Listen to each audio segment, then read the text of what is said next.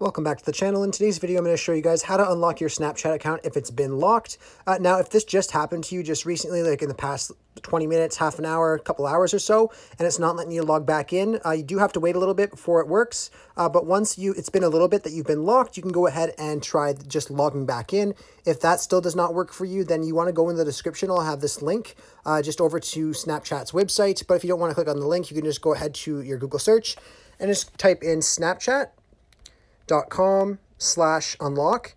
And then all you have to do here is just log into your account, and then it'll basically let you know the small uh, reasonings why your account could get locked. So I'm just going to go ahead and log in here really quick to this Snapchat portion here, and just going to go through the CAPTCHA, so I'll do that. And then once you verify and log in, it's just going to say here, locked account. If you receive a message saying that your Snapchat account has been temporarily locked, please wait and try logging in after several hours. If your account has been locked for an extended period of time, you could unlock your account by clicking the unlock below. Uh, so basically, if you fall into the second category that's been long enough time, you can go ahead and just click this unlock button. And then as you see, it unlock your account for you. I really hope I was able to help you guys out with showing you how to unlock your Snapchat account. If this was helpful, be sure to leave a like on the video and subscribe for more. Thanks for watching.